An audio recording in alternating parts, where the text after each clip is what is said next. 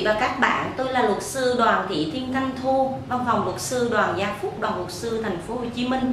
À, tôi à, sẽ gửi đến quý vị và các bạn à, 99 video à, có tên là Dân ta phải biết luật ta. Thưa quý vị và các bạn, lý do tại sao tôi phải à, à, gửi cho quý vị và các bạn những cái à, loạt video là Dân ta phải biết luật ta bởi vì thực sự tôi thấy rằng cái à, cho đến thời điểm năm 2017 thì trình độ à, dân trí, kiến thức, luật pháp của người dân đã nâng lên rất nhiều.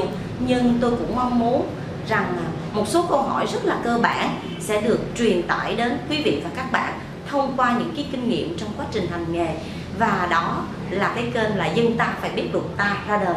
Thưa quý vị và các bạn hôm nay tôi sẽ um, làm một cái video có tên là quyết định công nhận sự thỏa thuận của các đương sự thưa quý vị và các bạn, cái tên là quyết định công nhận sự thỏa thuận của các đương sự là một cái tên rất là dễ hiểu. Và tôi cho rằng là tôi cũng rất là thích cái cái quyết định công nhận sự thỏa thuận của các đương sự.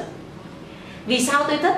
Vì à, nếu tôi là khách hàng của tôi là nguyên đơn, thì à, à, khi tôi khởi kiện đến tòa, thì tôi đã đạt được một mục đích là, ví dụ như bây giờ tôi khởi kiện về chia thừa kế thì tôi đã đạt được cái mục đích cho khách hàng rằng lấy tiền càng sớm càng tốt chẳng hạn. Còn nếu như trong trường hợp tôi là bị đơn à, vì tôi lo lắng là tôi bị phía bên nguyên đơn kiện và sau khi là quyết định công nhận sự thỏa thuận thì tôi cũng đã thành công. Khách hàng của tôi phải đỡ đau đầu đỡ có à, lo lắng suy nghĩ nhiều.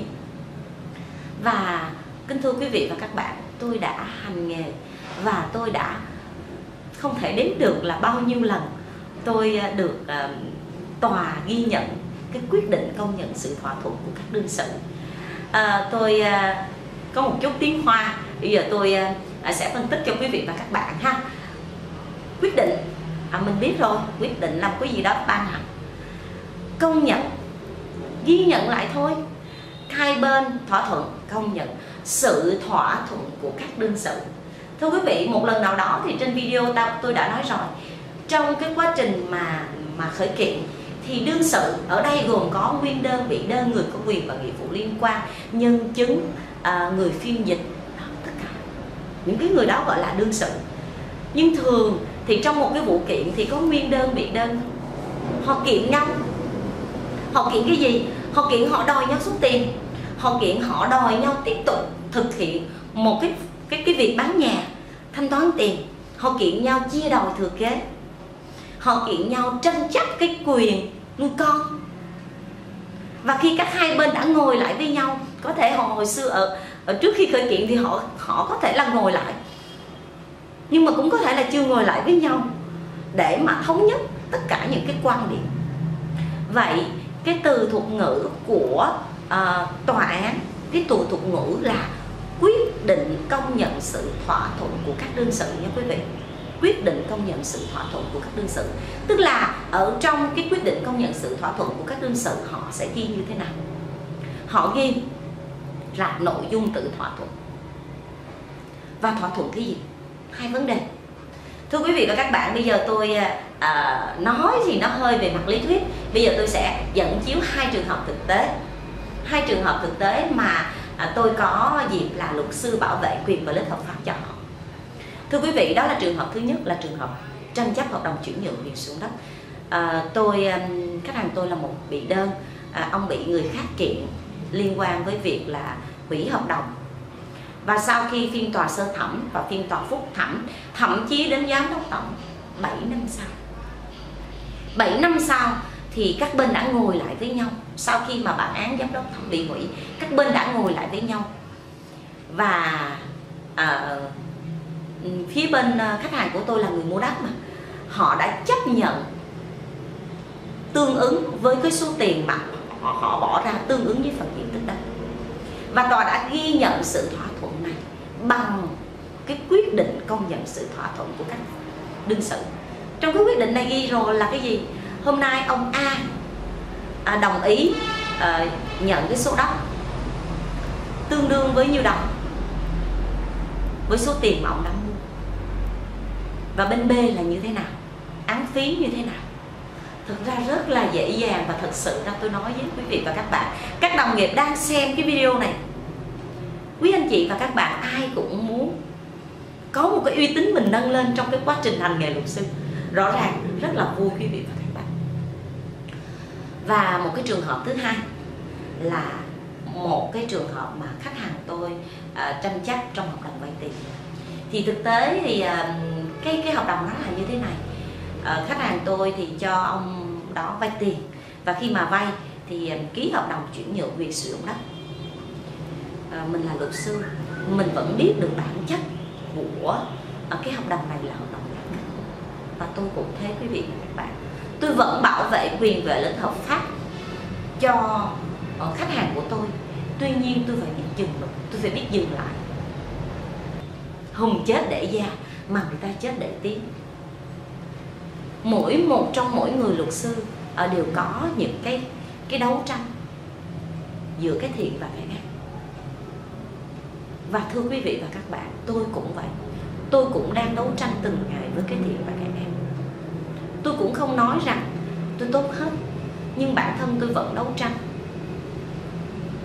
Đấu tranh để giành lại cái mưu cầu giành lại cái quyền giành lại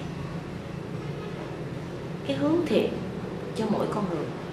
Trở lại vấn đề à, quyết định công nhận sự thỏa thuận à, của các đương sự về hợp đồng vay tiền nha quý vị. À, thì à, à, tôi cũng không nhớ chính xác nữa nhưng mà hai bên à, có giao nhận với nhau nhau với số tiền là tương gần gần khoảng à, 700 triệu. Thì à, khách hàng của tôi đã đưa cho họ với số tiền là là gần 700 triệu vào thời điểm là năm 2013 và quý vị và các bạn tới năm 20 2013 và tới 2016 thì à, có một cái phán quyết.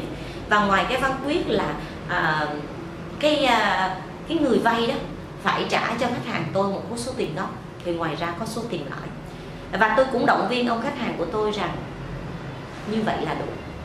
Vì à, à, có rất là nhiều lý do. À, trong một cái video này tôi không thể nào có thể rằng là uh, tóm lại cho quý vị và các bạn biết hết toàn bộ nội dung.